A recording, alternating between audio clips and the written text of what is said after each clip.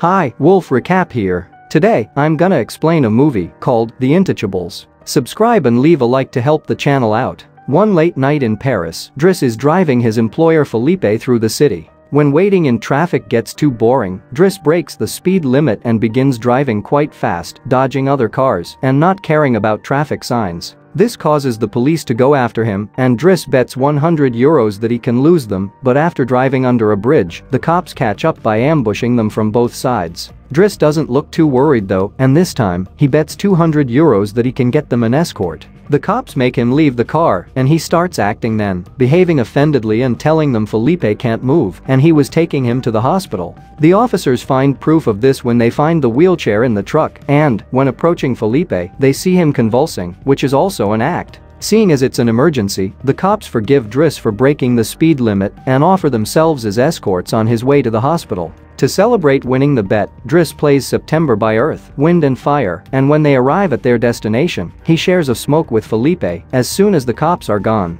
Driss promises he'll handle it and drives them away just before the hospital staff could find them. This friendship began many months ago. Felipe and his assistant Magali are holding interviews to find a new caretaker for him, but it isn't going too well because all applicants have very standard or awkward answers to their interview questions. But they're suddenly surprised when Driss storms in, ignoring the fact it isn't his turn quite yet because he only wants some papers to be signed saying they won't hire him so he can get the unemployment benefits. He's blunt and a little rude, even hitting on Magali, but Felipe finds him amusing and asks him to come back the next day for his signed papers. Driss goes back to his home in a humble neighborhood and tries to take a bath while all his little siblings bother him, only managing to get it done in time thanks to his sister Mina, who is a bit older than the others and more responsible. While waiting for their mom to arrive, he looks through the window and notices his brother Adama getting out of a suspicious car. When the boy enters the apartment, he just says he was at school and leaves again after grabbing his bag causing Driss to be even more sure that he's up to something.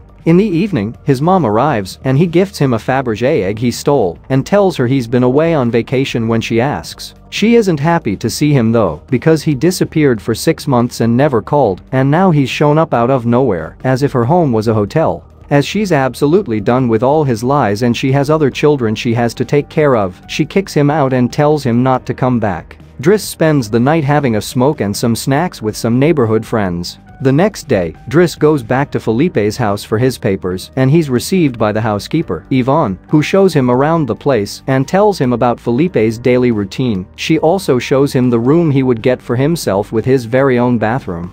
Driss can't help staring at the bathtub before he's dragged to see Felipe, who offers the signed sheet of paper, but also a job opportunity. Driss accepts the one-month trial and Felipe tells him he bets he won't last two weeks. After bringing his things to his room, Driss is taught how to take care of Felipe.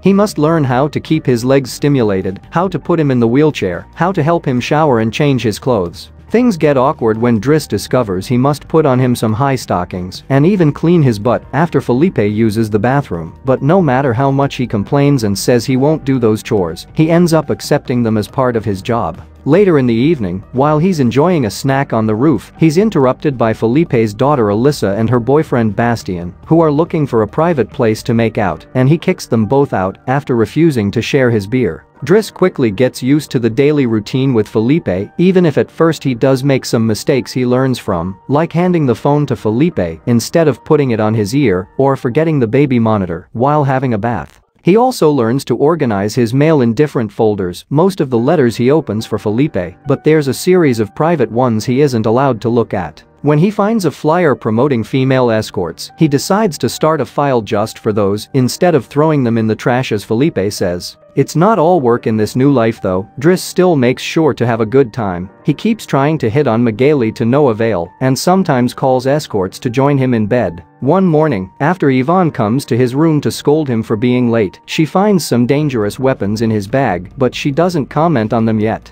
Driss's work today is to drive Felipe around, but he refuses to put him in the back of a van, as if he was cargo, so instead, he takes him on one of the fancy cars that don't see much use. Felipe, who first thinks this isn't suitable and says they should be pragmatic, is soon getting excited at the idea of a faster, less boring ride, although Yvonne still disapproves. When they try to leave the building, there's a neighbor parked at their entrance, ignoring the sign on the door that says it's forbidden. Driss wastes no time and goes after the guy, grabbing him by the front of his shirt and threatening him until he moves the car. Felipe is impressed by his actions, but Yvonne, once again, disapproves. The pair goes to a museum where Felipe is planning to buy a piece of artwork that Driss considers not worth the money because it's just a red blotch on the canvas. Afterward, Felipe meets with a relative of his who tells him everyone is worried about Driss since he can be violent. He's also discovered he has a criminal record, but Felipe doesn't care. He appreciates Driss because he doesn't pity him and doesn't mind joking around with him.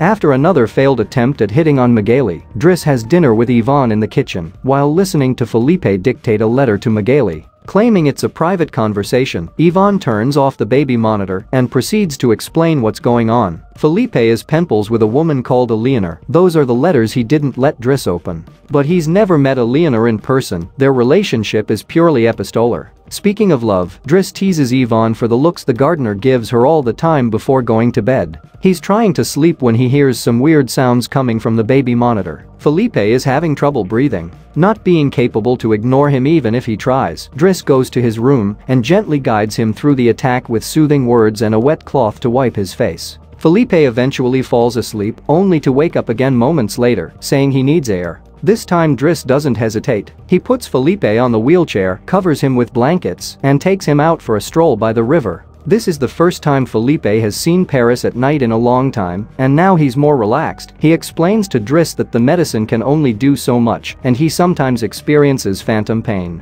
When they see some girls walking by, Felipe also confesses he isn't capable of pleasuring a woman because of his situation, but he still can enjoy some satisfaction when he gets his ears massaged because they are sensitive zones. When the phantom pain threatens to appear again, Driss shares one of his joints with Felipe, who is skeptical at first but ends up loving it. Afterward, they go to a restaurant where they joke around while sharing a meal and Felipe decides to share more of his story. He met his wife when they were students and shortly after they got married, she had five miscarriages and was diagnosed with an incurable, terminal illness. That's when they adopted Alyssa.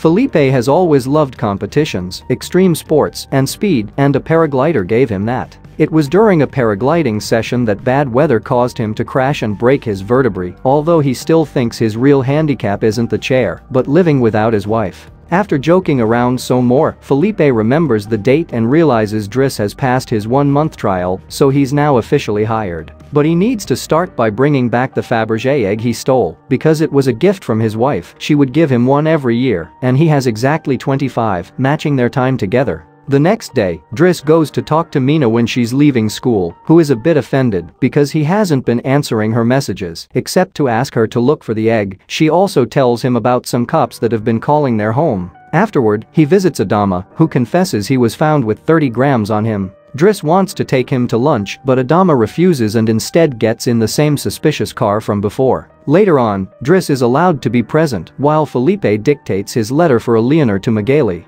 He thinks this purple prose is very boring and that Felipe should be more direct. He's also baffled to hear that this has been going on for six months and they never exchanged pictures. When he finds her phone number on one of the letters, he takes it as a sign and calls her, obliging Felipe to take the phone and finally speak to her outside the written word. Their conversation goes so well, Felipe is now on the phone with her all the time, even right before he and Driss attend the opera, during which Driss laughs and makes fun of the costumes. The next day, Driss convinces Felipe to accept to exchange pictures with Eleanor and chooses one of him in the wheelchair. Afterward, while he's painting, Alyssa bursts into his room to ask him for cigarettes and makes fun of him for trying to be artistic. Getting angry, he kicks her out before going to see Felipe, who is currently asking Yvonne to change the chosen picture for one of him when he wasn't quadriplegic. She hides the picture inside the escort file right before Driss burst in, complaining about Alyssa and telling Felipe he needs to discipline her, something Yvonne agrees with. Felipe agrees to talk to her, but he's mostly surprised when Driss lets it slip that he's been painting. Days continue to pass, and the friendship between Felipe and Driss continues to grow. Driss takes him to play in the snow and brings him with him when he goes out for a run. Felipe gets him his first suit and scolds his daughter, while Driss listens to him through the baby monitor. When Driss finishes his first painting, he shows it to Magali, who slaps him when he tries to kiss her. Felipe, however, likes the painting and promises he'll try to sell it. The two of them have a great time with each other, enjoying things like getting a faster car, sharing joints, and even hiring escorts together. When Felipe's birthday comes, he isn't very excited about it. Every year, he pretends to be surprised that they're throwing a party and has to meet with all these relatives that only come to see him on the date to check he's still alive. Felipe says it'll all be rather boring. While he and the guests enjoy some live classical music, Driss searches for Alyssa, who is crying in her room after having taken some of Yvonne's pills, which won't kill her as she expected. The reason why she's sad is that Bastien broke up with her and called her a tart, so she asks Driss to talk to the boy, which he accepts to do for a price. Meanwhile, Felipe is showing Driss's painting to his relative and manages to convince him to buy it for 11,000 euros. Driss goes back to the dining room and chats with Yvonne, who tells him Magali is in a relationship with someone named Fred, but things are rather rocky at the moment, giving Driss hope. As the party begins to die down, Felipe makes Driss listen to some of the most important songs in classical music history, but he can only joke in response. After the band is done, he brings his iPod and plays Boogie Wonderland by Earth, Wind and Fire before he starts dancing right in the middle of the floor. He's an incredible dancer and even convinces the rest of the party to join him and dance with him, which Felipe enjoys watching. Later, when putting Felipe to bed, Driss opens Eleanor's latest letter to him. She sent her picture, showing she's rather pretty, and is telling him they should meet next week when she visits Paris. When the day of the date comes, Yvonne and Driss put Felipe through dozens of outfits until they find the perfect one. And since it's Yvonne the one that will take Philip to the date, Driss uses his day off to visit Bastien and threatens him until the boy accepts to apologize to Eliza and to bring her croissants every day. He also asks him to fix his hair. Afterward, he visits his mother at work but only to watch her from afar. At the restaurant, Yvonne and Felipe are waiting for Eleanor, who is very late. After waiting for an hour, Felipe gives up, calls Driss to ask him to take him away, and then leaves the restaurant without noticing Eleanor is arriving at the same time. That same night, Felipe takes Driss with him in his private plane and gives him the money he got for selling the picture, making him immeasurably happy. They make it to the countryside the next morning and Felipe decides to go paragliding, dragging Driss with him as well. Driss doesn't want anything to do with it, but after initially freaking out, he ends up enjoying the experience. When they return home, Adama is there waiting for Driss and gets scolded when he sees the scars on his face. Adama will still not tell Driss what's happening in his life though, so Driss makes him wait in his room while he calls Mina to tell her not to worry and goes to put Felipe to bed. Felipe, however, isn't sleepy yet. After making Driss look at a painting with him, he asks him about his family, which Driss at first doesn't want to talk about, but eventually gives in. It turns out Adama technically isn't his brother and his parents aren't actually his parents, they're his aunt and uncle. They fetched him from Senegal when he was 8 because they couldn't have kids and his real name is Bakary Bassari, but because other kids had that name, they called him Idris and that became Driss. One day, his aunt miraculously was able to conceive and after his uncle died, there were other men and more kids as well. In the same way Driss had talked to him about Alyssa, Felipe points out that Adama needs discipline, so he fires Driss so he can be there with his family because he can't spend his whole life taking care of an old man. The next morning, after Bastien has brought his daily croissant while wearing a better hairdo, Driss packs his bags and gets ready to go. Magali comes to say her goodbyes and when Driss tries to hit on her one last time, Magali introduces him to his significant other Fred, which is short for Frederic turns out Magali isn't interested in men and Driss gives up on the spot. On his way out of the house, he gives the baby monitor back to Yvonne and teases her for having lied to him about Magali just to mess with him. In return, she gives him the escort file he had started and he's disappointed to find the picture he had chosen is hidden there. Driss throws away the file, but he keeps the photo for himself. Once outside, he finds a car once again blocking the entrance, so he asks him to move away even if he doesn't work there anymore. When Adama calls him out for it, Driss says it's a matter of principle. A few hours later, the two brothers go pick up their mother at the station while back at the house. Felipe is having his first dinner together with his new caretaker, who is stuffy and boring, and Felipe decides to leave him without even having a bite. Since Yvonne is out on a date with the gardener, nobody is there to scold him for it. As days pass, Driss goes back to his old life. He hangs out with his old friends again and tells the guys from the suspicious car not to bother Adama anymore. When he goes to an interview he doesn't have enough experience for, he manages to win over the employer by calling himself pragmatic and using all the art knowledge he acquired while working for Felipe. This lands him a job as a driver. Felipe continues to dislike his new caretaker and is in a constant bad mood. One night, he refuses anyone in the house to help him with his phantom pain, so Yvonne calls Driss and asks him to come over. That's how they find themselves in the situation from the beginning, with the cops chasing after them first and escorting them to the hospital later. After that little adventure, Driss drives Felipe to the coast and the sight of the sea helps Felipe calm down. Sometime later, Driss takes care of Felipe's overgrown beard before taking him to a restaurant for lunch but he doesn't stay because someone else will be making Felipe company today. Driss wishes him luck and finally gives him back his egg before leaving, and Felipe starts worrying about being alone until he sees who his date is. Eleanor, who is delighted to see him and doesn't mind the chair at all.